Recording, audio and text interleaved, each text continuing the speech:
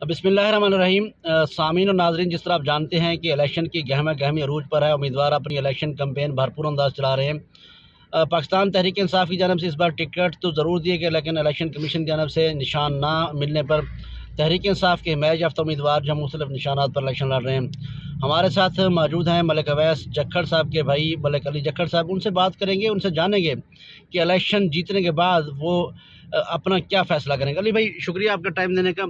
Election इंशाल्लाह जीत जाते हैं। क्या फ़ैसला होगा, सर? या कनाब दवैया कनस्ताइन।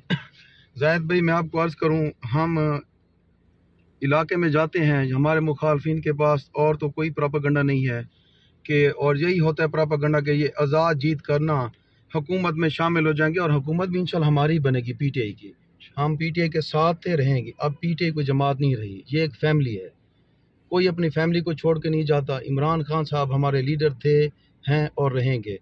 और मैं अपने मुखालफिन को ये भी बता दूँ कि इस तरह के ओछे हाथ ये इस्तेमाल जो कर रहे हैं कि ये आज़ाद हो के ये इंशाल्लाह जीत कर जाएँगे। हम इन हमने इनके ऊपर पहले भी लानत भेजी है अब भी हम इनके ऊपर लानत भेजेंगे नून लीग वालों पे।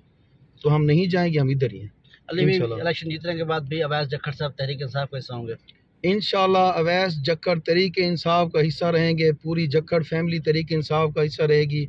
मैंने पहले भी बात की है कि पाकिस्तान तहरीक इंसाफ अब एक जमात नहीं है ये अब एक फैमिली है हमारी। हम सब वोटर सपोर्टर जितने भी उम्मीदवार हैं हम उस फैमिली के मेंबर हैं। इमरान खान साहब हम, हमारे लीडर थे हैं और हमेशा रहेंगे। और हमने आठ फरवरी को वोट देकर इमरान खान साहब की आज़ादी का वोट देना है। जबकुल जी अली जखर साहब बात सुन उनका यही बताना है कि वो इलेक्शन जीतेंगे इन और जीतने के बाद वो तहरीक इंसाफ का हिस्सा हैं रहेंगे।